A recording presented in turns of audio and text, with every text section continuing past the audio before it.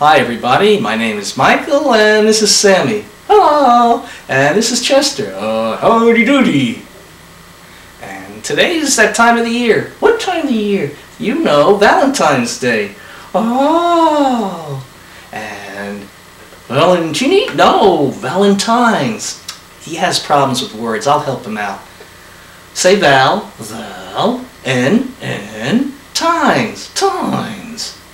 together, Valentine's. Valentini. Yikes. Anyway, um, Sammy's going to recite a poem today. I am? Yeah, you are. Well, I didn't. I don't. Uh, what? You didn't practice? No, no. Doing the best you can. Okay. Valentine's is here today.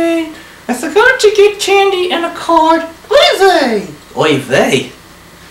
My loved ones are waiting, anticipating a gift, a call. It's off to the mall. Going to the mall? Wait! My family and friends will understand. I'll tell them I'm busy, helping, giving you a hand. Valentine's Day. Very good. Thanks. Uh, Chester, do you want to recite a poem?